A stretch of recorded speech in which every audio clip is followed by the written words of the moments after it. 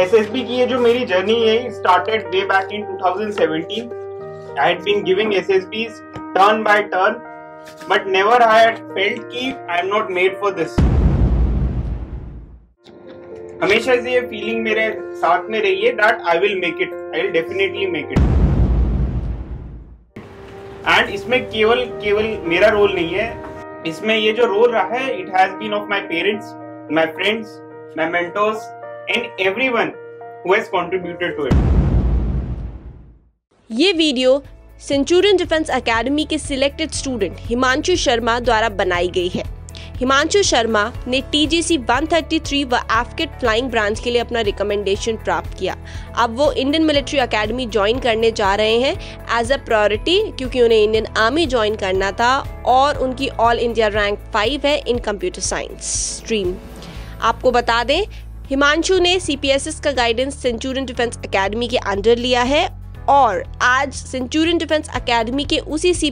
Training room के अंदर वो आपको डिपिक्ट करेंगे डेमो के साथ में सी का procedure and how to go about it hello जय हिंद डिफेंस एस्पिरेंट्स आज मैं लेकर आया हूँ एक बहुत ही important test which is known as CPSS test computerize pilot selection test friends ये वो टेस्ट है जो रिकमेंडेशन के बाद सारे फ्लाइंग कैडेट्स को देना पड़ता है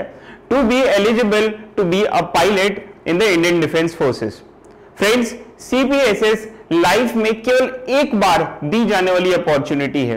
और बस एक बार क्वालिफाई करने के लिए लाइफ टाइम के लिए we are qualified for CPSS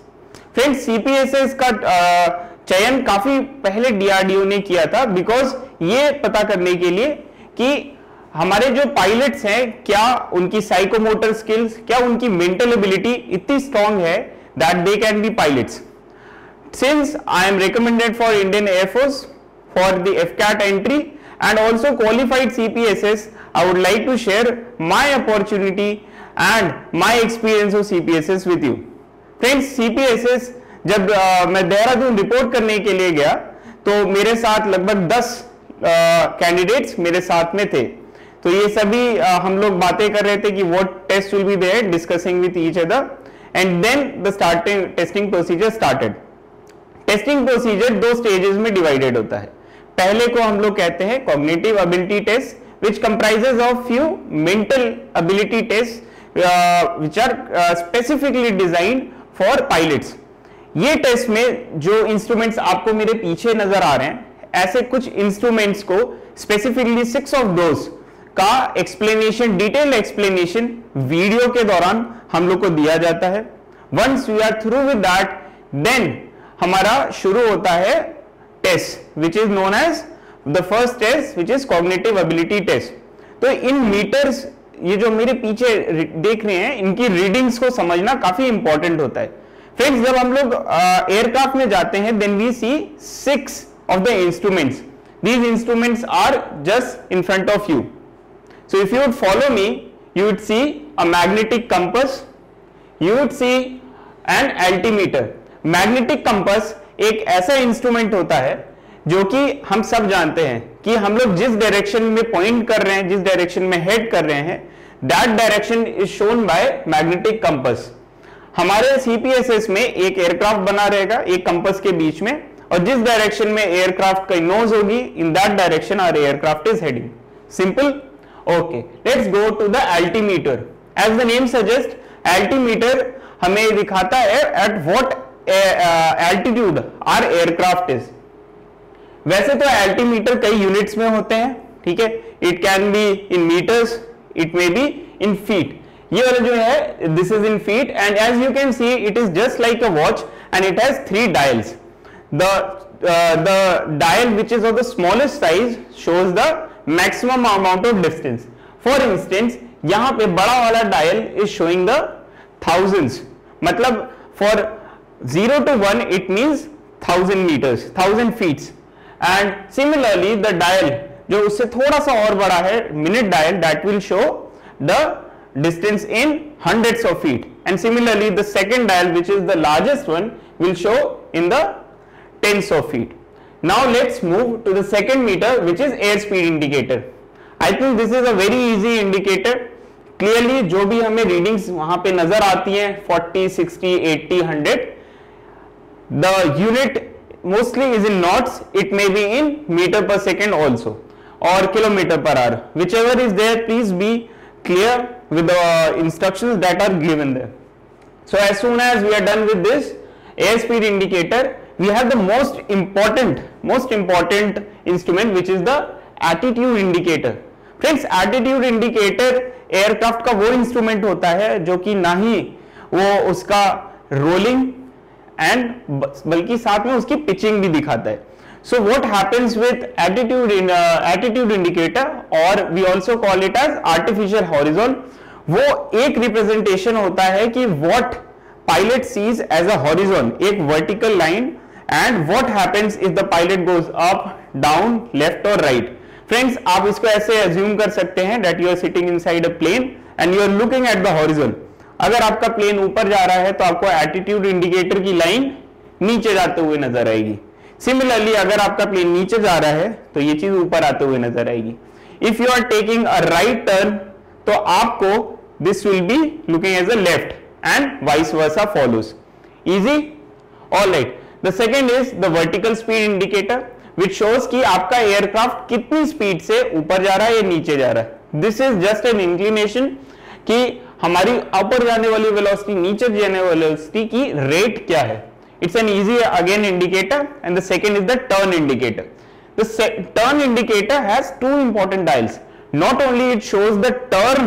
of the aircraft, whether it is taking a left turn or a right turn, using one of the middles one of the needles. It also shows whether it is rolling or not. आप assume कर सकते हैं कि अगर आप एक car से जा रहे हैं और आप एक लेफ़्ट टर्न लेते हैं तो आपकी कार राइट right की तरफ़ रोल करती है। So a similar representation is shown using this meter then these are all the six instrument that some of the instrument list and the first two tests will comprise of these tests. The, your understanding of the readings and also the orientation of the aircraft जब ये readings आपके सामने आएँगी। इसके बाद follow करती है कुछ इजी मेंटल एबिलिटी टेस्ट मैंने ये फाइंड किया कि क्योंकि ये नंबर ऑफ़ टेस्ट काफ़ी ज़्यादा होते हैं एंड नंबर ऑफ़ क्वेश्चंस भी ज़्यादा होते हैं plus the timing is less therefore time का प्रेशर होता है। However the test is solvable by most of them friends now let's move to the elephant in the room which is the main test which is a psychomotor test friends psychomotor test as the name suggest वो हमारे हाथ कान आँख दिमाग और पैरों की coordination का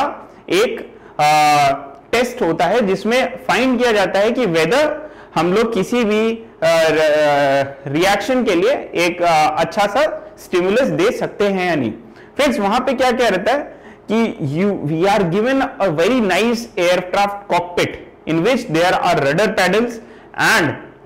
there are a joystick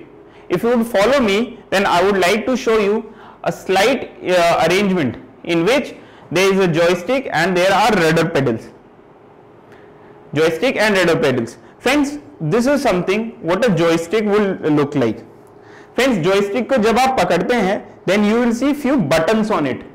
these are the buttons which you have to get used to while firing or whichever instructions are followed. जैसे कि अगर कोई लेफ़्ट लाइट जल रही है तो लेफ़्ट बटन राइट जल रही है तो राइट बटन और जैसे भी आ, हमारे एयरक्राफ्ट का डिज़ाइन है कई बार क्या होता है एयरक्राफ्ट की स्क्रीन के बगल में ही लाइट के इंडिकेटर दे दिए जाते हैं। Similarly we have rudder pedals rudder pedals का क्या काम होता है हमारे एयरक्राफ्ट को लेफ़्ट एंड राइट डायरेक्शन देना।